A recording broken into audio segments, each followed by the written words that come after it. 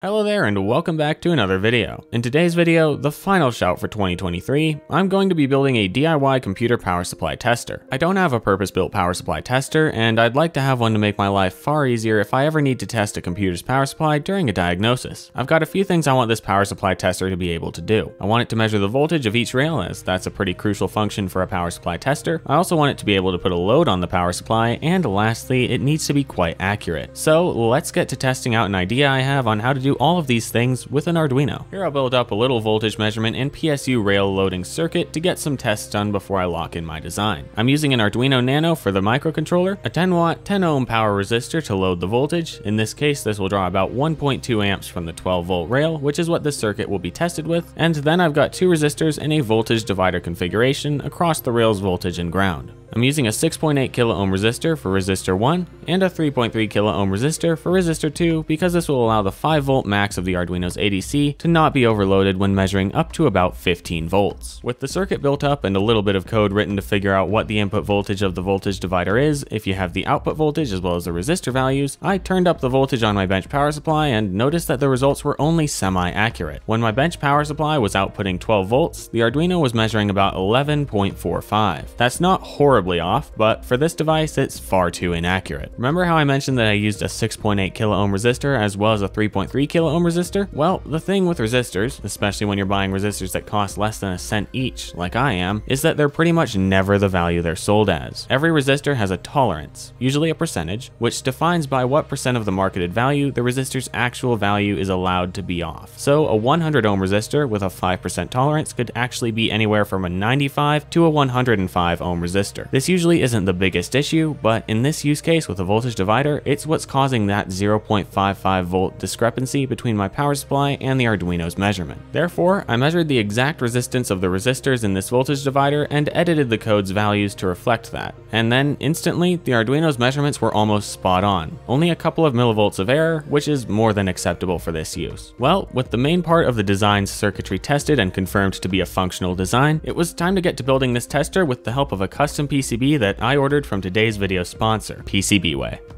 PCBWay provides many high-quality manufacturing services at affordable prices, including CNC machining, 3D printing, PCB assembly, and PCB production. Today, I've ordered something through their PCB production service, and it's these PCBs which are going to allow me to easily build up my tester and have a nice little tool to add to my collection. I inspected the PCBs after pulling them out of their package, and they looked perfectly suitable for my project. Now, in combination with a bunch of electronic components I had in stock, it's time to get building. I won't bore you with all the soldering of this board because you're not here to see mediocre quality solder joints. So with nearly all the components soldered to this board, it was time to get the voltage divider resistors installed. As I demonstrated earlier, it's really important to measure the exact value of each resistor in each voltage divider to maintain an accurate voltage reading. So while referencing my schematic, I wrote down the exact value of each resistor as I put it into its correct spot and soldered it into place. At the end of all this, I had a page filled with resistor numbers and their exact values, which will become very important when writing the code for this tester. Alright, every component is now soldered onto the board here except for the three at the top, the main power supply connectors. I was originally considering going through my scrap circuit board pile and desoldering an 8-pin EPS, 24-pin ATX, and an 8-pin PCIe connector, but after only being able to semi-successfully desolder an 8-pin EPS-like connector, I realized that I didn't even want to think about desoldering a 24-pin motherboard connector. I also looked online for the right Molex connectors that will match the standard PC power supply connectors, but the only ones I could really get would take too long to come and were a little pricey. This led me to cave and as much as I wanted male connectors soldered directly to the board, I'd end up using some cut cable extensions. So I went out and ended up buying a set of these Cable Matters sleeved cable extensions. I originally was planning to get super cheap cable extensions for just the motherboard, EPS, and PCIe cables, but even with the cheapest extensions for each of those three cables I could get on Amazon, this Cable Matters set was slightly cheaper at a mere $16 for the entire set. So even though these are somewhat nice cables, to be cutting up, it was the cheapest way to do this, so here we go. And while I'm at it, here's a super short review of these extensions if you're interested in them. I got the white cables and they feel good. The wire gauge seems to be fine at a solid 18 AWG, and the sleeving feels decent, connectors alright, and overall the cables are nicely flexible. The only thing to be wary of with these white extensions is that one of them was a slightly stained off-white color compared to the other five. I'm not too sure what's up with that, but other than that, they seem like acceptable quality extensions. I marked 10 centimeters off from the male connector of the cable extension, then cut and stripped the wires. I started with the EPS cable because it's one of the simplest ones to get right, and I'd really rather not solder any of these cables on backwards.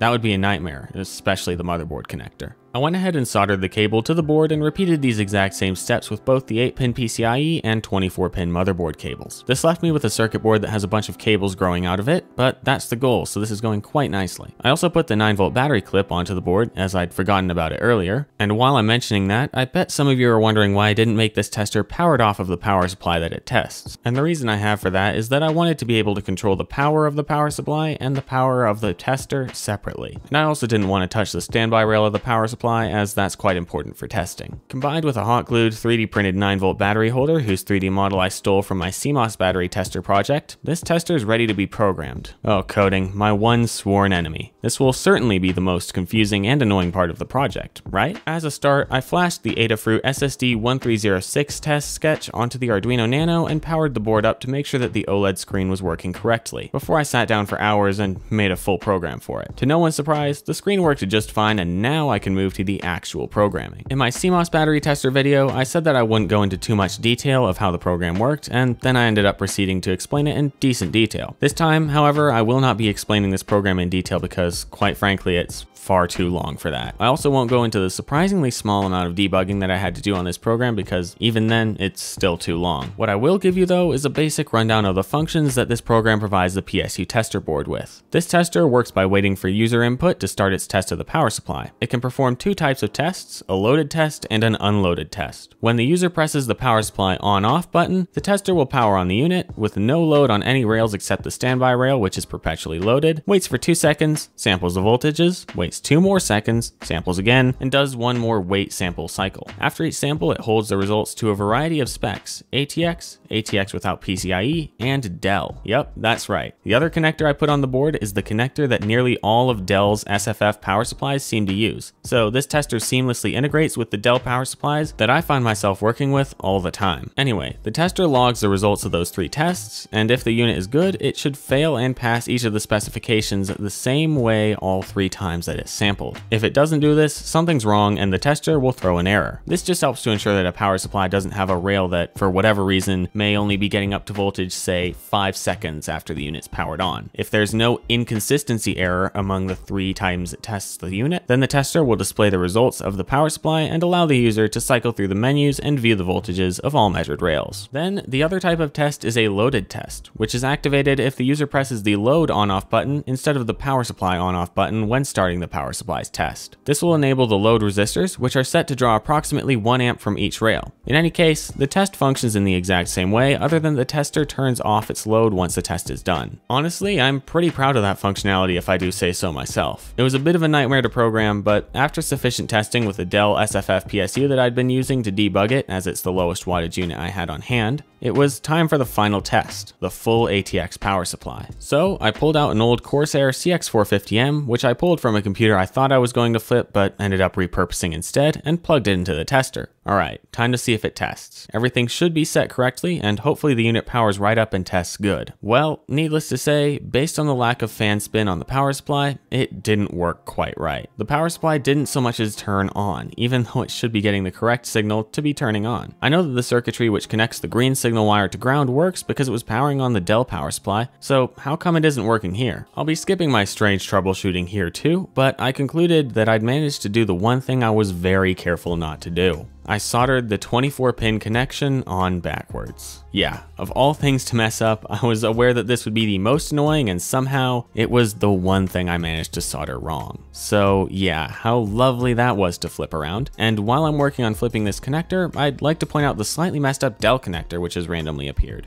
Before anyone comments regarding what happened there, one of the pins of the connector got damaged when I desoldered it, and I thought that it was an unimportant connection, but I messed up and it turns out that it was actually the standby rail, so I had to fix that up with a bit of wire jumpers. I also had to change the voltage divider and load for the standby rail because I also somehow missed that these Dell units have a 12 volt standby rail instead of a 5 volt standby rail. I guess that while designing this tester, it was just one of those days. Oh well, I've got the motherboard connector flipped now, as well as everything else fixed, so let's test it once more. Still no dice. And something has also burned this time. Thankfully, the high quality trace in this PCB didn't actually break, but the solder mask ended up a little crispy. Looking back, I think that was the standby rail of the Corsair unit, which means that I just shorted 3 amps through a 1mm width trace. Don't think that was a good idea, and I'm not surprised that a 1mm trace couldn't quite take the heat. I also tried a different power supply, just to see if there was some weird behavior with the way that the Corsair unit powered on, but this Dell OEM power supply also behaved identically. Clearly an issue with my tester then. Now I didn't film too much of this part because I was already nearing 350 gigabytes of raw footage, but I ended up realizing that I managed to pick the one footprint for the 24 connection, which was mirrored. Yep, mirrored. So the connector was definitely soldered on wrong originally, but also still wrong after flipping it, and it would need to be moved to the back to work correctly. And because I didn't like the idea of two connector cables on the front and one on the back, I moved the other two to the back as well. This was really painful to do and took a while, but in the end it actually turned out better than before. Now the tester stands up like a little tent even when plugged in, and I'm really pleased with the end product because flipping this connector like this fixed everything. I'm going to demonstrate the full functionality of my little testing device to you here in just a moment, but firstly I'd like to point out that this PCB from PCBWay has been through the wringer with all my design mistakes, shorting a few amps through thin traces, and several solder desolder cycles that, in hindsight, were at far too high an iron temperature, and even then it still hasn't failed. None of the pads came off from the excessive heat and movement they were subjected to when putting the 24 pin connector on three whole times. The solder mask might have gotten a little burned when I shorted a bunch of current through a trace that should not have had that kind of current put through it, but it still didn't melt or pop, and overall, it's just held up surprisingly well. So one more big thanks to PCBWay for providing a quality product that made my project possible. Check them out at the top link in the description below. Alright, let me show you what I've created here and what this little board can do. Here I've got my full ATX power supply connected with motherboard, 8-pin EPS, and 8-pin PCIe connected. Also, the PCIe connector can just have a 6-pin cable plugged into it, and the EPS connector can also receive just a single 4-pin and work just fine. Doing an unloaded test shows that the power supply passes both the ATX and no PCIe ATX requirements, but not the Dell ones because the standby rail isn't at 12 volts. I can view all the voltages that the board is currently getting from the unit and turn off the unit. Then, I can also perform a loaded test which does the same thing but with the power resistors enabled. The load automatically disables once the test is done so that it doesn't get too hot, but I can manually manually re-enable it with the button while cycling through and watching the voltages. Here's a quick demo of what would happen if the power supply didn't have the same pass-fail results for all three tests that are taken while the unit's being tested. I'll simulate this by leaving the CPU power unplugged and then plugging it in a bit through the testing cycle so that the unit fails its first one or two cycles for all the specs, but then passes the last cycle when the CPU rail comes back. I'm not sure if this feature will ever catch any bad units, but if for some reason a single rail on the unit is lazy or slow to come on in a power supply, this should find that. The board throws an error, fails the unit, and powers it down. Pretty cool, I think. It also works the exact same way in a loaded test, but it turns off the load too when the error is thrown. What if I'm testing an OEM ATX unit that doesn't have any PCIe supplemental power cables? Well, obviously it won't pass the ATX test because there's no PCIe power, but it will pass the no PCI ATX, which is exactly what it sounds like. The ATX test, but it ignores the PCIe rail. I'm demoing this with an old Dell OEM unit that has a 24 pin motherboard connector and a 4-pin EPS connector. You can see that the unit passes the no PCI ATX spec, just as designed. And lastly, my favorite little party trick of this DIY tester, the Dell SFF power supply plugging the motherboard connector into the connector that's built into the tester's board, and the CPU connector into the regular EPS connector, it can be tested in the exact same way, and here you can see the power supply passes the Dell spec. I think that this project was a massive success, even if it took a bit of blood, sweat, and tears to get it functional. I'm really happy to have a power supply tester like this in my toolbox, and I'm proud to say that I've made it myself. Maybe this inspired some of you to try and build something like this to help you out in your own work, and if it did, that's awesome. In any case, one final thank you to PCBWay for sponsoring this video. That's all I have for you this year. I hope to see you in 2024. Goodbye.